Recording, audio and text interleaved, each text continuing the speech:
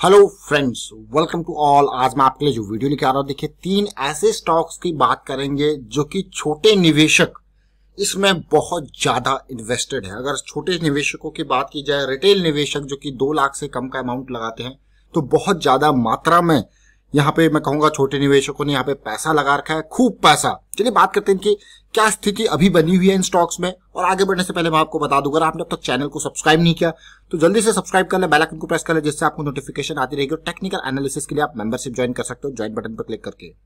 और demat account के लिए जाइए वीडियो के डिस्क्रिप्शन में लिंक दिया उस पर क्लिक करके अपना डीमेट अकाउंट ओपन कर सकते हो। और सीधे पंजाब बैंक की तरफ़ लेके चलते हैं आपको देखिए। पंजाब नेशनल बैंक बहुत ही बड़ा बैंक मैं कहूँगा, इसको सरकारी बैंकों में जब बात आती है, एसबीआई, पंजाब नेशनल बैंक बड़े बड़े बैंक में से एक है। तो यहाँ पे अगर आप देखोगे तो इस बैंक की हालत बहुत ही खराब हो गई। नीरव मोदी जी ने, आपको पता ही है कितने हज़ार करोड़ का घोटाला यहाँ पे हुआ। लेकिन सरकारी बैंकों में लोग कहते हैं पैसा लगाना नहीं चाहिए। लेकिन फिर भी यहाँ पे बहुत सारे लोगों ने पैसा लगाया हुआ है। तीस हज़ार करोड़ का मार्केट कैपिटलाइजेशन बहुत सारे बैंक्स मर्ज हो रहे हैं और पीएनबी में आ रहे हैं। अभी का शेयर देखिए, तीस से बत्तीस रुपए के आसपास इसका शेयर है। अगर आप देखोगे तो देखिए, तीस बत्तीस रुपए का शेयर है, सत्तासी सेवनटी सेवन के पीई रेशियो पे ट्रेड कर रहा है। कंपनी देखिए बैंक का अगर मैं बुक वैल्यू देखू, वो तो सिक्सटी सेवन के आसपास है। लेकिन कहा सेवन के पीई रेशियो पे ट्रेड कर रहा है? अब यहाँ पे अगर मैं आपको आंकड़े दिखाऊँगा तो आप कहोगे, ये हो क्या रहा है? ऐसा कैसे हो गया? जरा देखिए पीएनबी के हालात। ये पीएनबी का नंबर है जो मैं आपको दिखा रहा हूँ। देखिए पीएनबी के नंबर्स को देखते हैं। ये हालात देखिए जरा। यहाँ पे अगर मैं रिटेल निवेशकों की बात करूँ तो 10 लाख रिटेल निवेशक, आपको यकीन नहीं होगा 10 लाख रिटेल निवेशकों ने पैसा लगाया हुआ है पीएनबी में। जरा देखिए पिछले कुछ डाटा नंबर्स को देखते हैं कि ये बढ़े हैं या कम हुए हैं। जरा देख पुराने नंबर्स को देखोगे तो ये धीरे धीरे करके जैसे शेयर का प्राइस नीचे गिरते गया, यहाँ पे रिटेल निवेशकों की संख्या धीरे धीरे बढ़ती हुई गई है। अभी पिछले कुछ टाइम में थोड़ा कम ज़रूर हुई है। सितंबर 2019 के बाद यहाँ पे शेयर्स निकले हैं।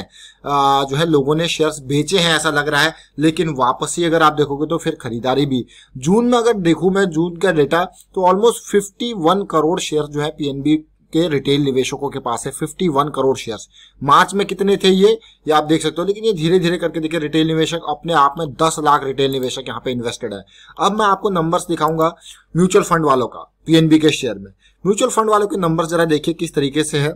म्यूचुअल फंड वालों के नंबर देखिए एक टाइम पे जैसे जैसे देखिए म्यूचुअल फंड फॉरेन निवेशक इन्वेस्टर्स होते हैं, वो माल बेचते हैं तो रिटेल निवेशक खरीदते हैं। अक्सर आपने देखा होगा, जब शेयर नीचे गिर रहा होता है, उसका प्राइस कम होता होगा तो रिटेल निवेशक उसमें खरीदारी करने लग जाते हैं। क्यों? क्योंकि वो उनको सस्ता दिखता है। और आपको पता ही है, शेयर मार्केट में सस्ता ही दिखता है तो फिर सस्ता ही फंसता है। वो गिरा क्यों है? इसके रीजन के पीछे रिटेल निवेशक कभी नहीं जाता कि वे क्यों गिर रहा है। मैं इसमें क्यों खरीद, खरीदारी करूँ?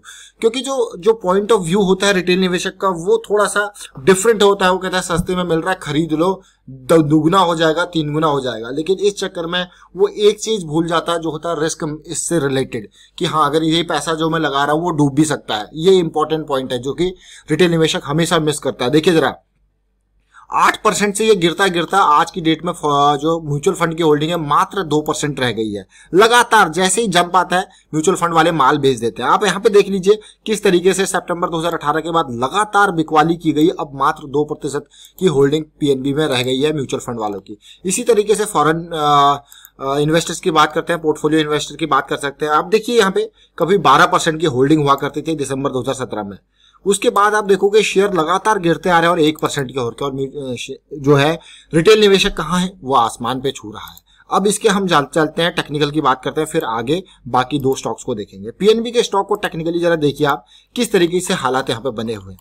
बहुत ही बुरे हालात हैं धीरे धीरे करके यहाँ पे उम्मीद, कुछ पॉजिटिविटी की लग रही थी कि ये सपोर्ट का काम करेगा, लेकिन नहीं, ये और नीचे गिरा। और नीचे गिरते गिरते आज की डेट में ये बीस, पच्चीस, बाईस रुपए के आसपास आ गया। हाँ कभी भी कुछ भी हो सकता है, अगर सरकार की तरफ़ से कोई अनाउंसमेंट आ जाए तो शेयर में उछाल आ जाएगा। बट आप क्यों स्टॉक मार्केट में इस तरीके के अनाउंसमेंट इस तरीके के न्यूज़ के ऊपर डिपेंड हो? आप देखिए फंडामेंटली स्ट्रॉन्ग शेयर को देखिए, अच्छे आप ट्रेंडिंग स्टॉक्स को देखिए, अगर आपको मार्केट में बने रहना तो। इस तरीके से तो आपका पैसा ब्लॉक हो जाएगा। जब तक मानो न्यूज़ नहीं आएगी तो फिर आपका चीज़ें चलेगी नहीं, कोई अनाउंसमेंट नहीं होगी तो चीज़ें आपका पैसा ब्लॉक रहेगा। अगर मान लो कोई एक आध न्यूज़ आ भी गई तो क्या पता, क्या आप प्रॉफिट बुक कर पाओगे टाइम पे? जब आपने इतनी देर तक उसमें बेच नहीं पाए तो क्या आप प्रॉफिट बुक कर पाओगे? उसमें आप कहोगे नहीं, थोड़ा और बढ़ेगा ये। तो इस तरीके से जो माइंडसेट है, वो मार्केट में बहुत ही खतरनाक और डरावना माइंडसेट होता है। और अभी ये तो मंथली चार्ट था। वीकली चार्ट में मैं देखने की कोशिश करूँगा। आप देखिए कितनी बड़ी गिरावट इसमें लगातार आई है। और अक्सर अक्सर मैं आपको एक पॉइंट यहाँ पे बताने की कोशिश करूँगा। आप ये बात रखिए कि भाई किसी भी टाइम फ्रेम में जब आपको बियरिश या बुलिश क्रॉस बनता है, उसके बाद जो तेज़ी आती है, जैसा कि यहाँ पे ये तेज़ी आई थी, बहुत सारे लोग इसमें फंस गए होंगे, लेकिन इसमें ट्रैप नहीं होना बुलिश क्रॉस एक बार भी नहीं बनाया, देखिए। और उसके बाद ये इंपॉर्टेंट देखिए, उसके बाद ये इंपॉर्टेंट जोन जो है शॉर्ट लोगों को बहुत ही बढ़िया सिक्सटी के पास इसकी शॉर्टिंग की बढ़िया अपॉर्चुनिटी थी, वो आप देख सकते हो कि कहाँ ये गया है। तो इस तरीके से सिचुएशन को समझना पड़ता है। ये नहीं कि शेयर थोड़ा सा भागा पॉजिटिविटी आ गई खरीद लो शेयर को। तो ये इंपॉर्टेंट टेक्निकल एनालिसिस की चीज़ें यहाँ पे काफ़ी इंपॉर्टेंट रोल प्ले करती है। तो जल्दी से ज्वाइन बटन पर क्लिक करके टेक्निकल एनालिसिस आप भी सीख सकते हो। वहाँ पे सारी बारीकी आपको बताई गई है कि कब रिस्क को मैनेज करना है, कैसे एंट्री करनी है, कैसे एग्जिट लेना है और मैं अभी आपको लेके चलता हूँ अगले स्टॉक की तरफ़, जिसका नाम है बैंक ऑफ़ बड़ौदा अगेन सरकारी बैंक आपको यहाँ पे भी अगर मैं शेयर दिखाऊँगा तो आपको यकीन नहीं होगा। ये पचास रुपए का शेयर और बाईस हज़ार करोड़ का मार्केट कैपिटलाइजेशन कंपनी का प्रॉफिट ग्रोथ एंड बाकी डिटेल आपको पता ही है कैसे हालात सरकारी बैंकों के चल रहे हैं। लेकिन इसमें भी जो इम्पोर्टेंट बात है, उसको देखिए और फिर समझिए। इसमें भी इम्पोर्टेंट बात जो है, वो रिटेल निवेशकों की मैं आपको दिखाना चाहूँगा, देखिए। रिटेल निवेशक, इसमें ऑलमोस्ट दस लाख के आसपास, नौ लाख अठहत्तर हज़ार रिटेल निवेशक बैंक ऑफ़ बड़ौदा में इन्वेस्टेड है। आज के ये जून का डेटा हमारे पास जो है। आपको इतने बड़े मात्रा में, और इनकी अकेले की होल्डिंग 8.70 परसेंट है, जो कि लगातार बढ़ती जा रही है, देखिए। 4.65 से लगातार बढ़ते बढ़ते 8.72 हो गया मतलब पिछले दो सालों के अंदर डबल हो चुका है, मान के चलिए। दो सालों के अंदर डबल हो चुका है रिटेल निवेशकों की होल्डिंग। इसी के विपरीत, अब मैं इंस्टीट्यूशनल होल्डिंग्स दिखाता हूँ आपको, म्यूचुअल फंड वालों ने, इन्होंने क्या किया देखिए। जहाँ पे रिटेल निवेशकों की होल्डिंग लगातार बढ़ती गई है, वहाँ पे बड़े निवेशकों ने माल को किस तरीके से खाली किया? धीरे धीरे करके बीच में बढ़ा ज़रूर था।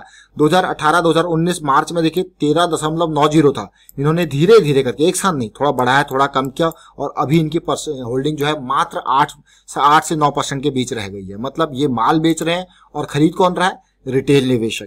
तो अक्सर आपने देखा होगा फॉरेन पोर्टफोलियो निवेशकों की होल्डिंग भी देखिए कहाँ से गिरी है।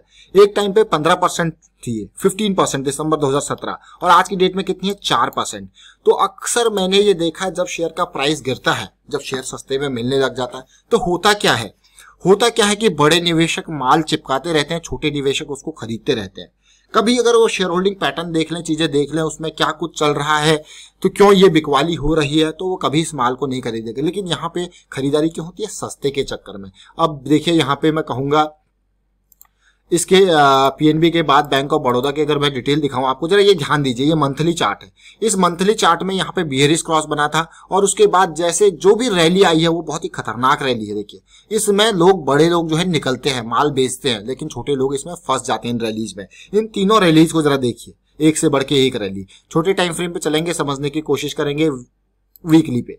वीकली की सिचुएशन जैसा मैंने आपको कहा कि बियरिस क्रॉस जब भी बनता है, देखिए, उसके बाद जो ये जंप आते हैं वो आपको फंसाने वाले, देखिए देखिए, ये जंप में आपको निकलना होता है, यानी कि अभी अगर मैं यहाँ पे निकलने की बात करूँ तो 88 का लेवल फरवरी तीस फरवरी तीन फरवरी के आसपास बहुत ही इंपॉर्टेंट लेवल था शॉर्टिंग अपॉर्चुनिटी देखिए, कहाँ तक ये शेयर गया तो ये छोटी छोटी चीज़ें हैं जो आपको धीरे धीरे आपको काम आएँगी और किस तरीके से टेक्निकल एनालिसिस के बारे में आप सीख पाओगे, वो इंपॉर्टेंट यहाँ पे हो जाता है। अब चलते हैं अगले स्टॉक की तरफ़, जो है स्टेट बैंक ऑफ़ इंडिया। देखिए, तीनों सरकारी बैंकों के बारे में मैं यहाँ पे बात कर रहा हूँ, क्योंकि तीनों में ही रिटेल निवेशकों की खूब होल्डिंग है।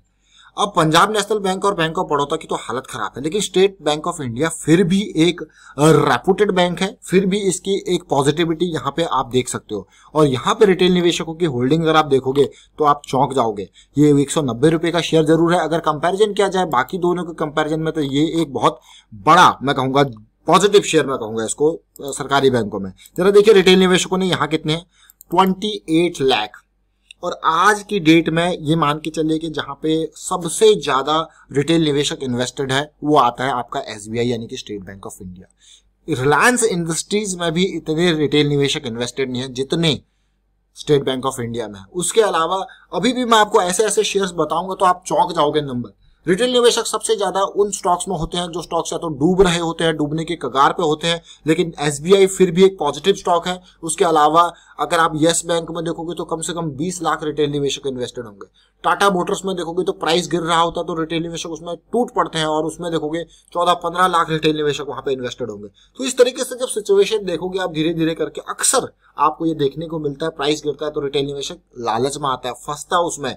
तो ये एस लेकिन एसबीआई फिर भी एक बहुत ही पॉजिटिव स्टॉक है। मैं फिर से रिपीट करूँगा, इनके कंपेरिजन में, बाकी दो के कंपेरिजन में एसबीआई एक पॉजिटिव स्टॉक है। लेकिन अभी मार्च की गिरावट बहुत ही खतरनाक पेनफुल वाली गिरावट थी। जरा इसके हालात देखिए।